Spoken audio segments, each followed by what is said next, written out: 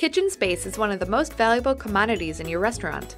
With the eQuipped HP 212 gas hot plate, you can help conserve that space.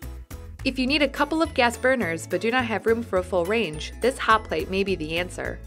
It is small enough to be set on the countertop at only 12 inches wide and 30 inches deep by 13.5 inches tall. The unit's adjustable legs raise the hot plate off the countertop by 4 to 5 inches. The front and sides of the hot plate are made from stainless steel and are fully welded, making it rugged enough to withstand commercial use. A stainless steel drip tray collects all the grease and food debris generated during cooking so when you are finished, you can remove the tray and dump that waste out. Two cast iron burners are evenly spaced and a grate sits over each burner. Each burner has its own gas valve and pilot light so you can use and adjust them independently. Natural gas is used to heat the hot plate, but tips are included with the purchase of this unit so you can convert it in the field to use propane.